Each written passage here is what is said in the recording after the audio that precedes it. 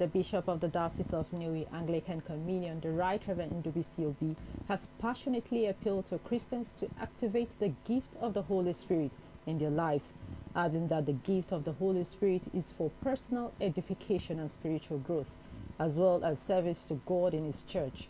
Bishop Obi made this appeal during the service of confirmation and admission at St. Andrew's Diocesan Church Center, DCC, Nnewi.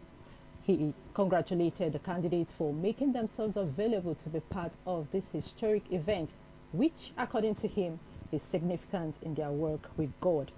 The Nnewi Diocesan explained the assignments of those gifts as recorded in Ephesians chapter 4 verse 11, noting that the apostles gathered the body of Christ and explained the correct doctrines to the body of Christ, while prophets offer leadership to the future development and growth of the church.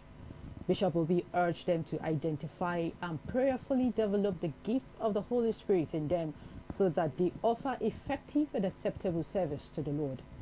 The prelates thanked the priests, their wives, and all the church workers for making time to train the candidates.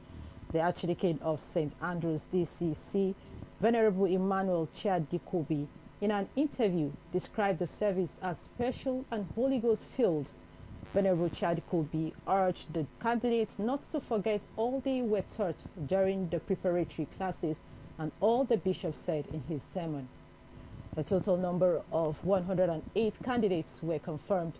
53 girls were admitted into Girls Guild and 67 women into the Mothers Union.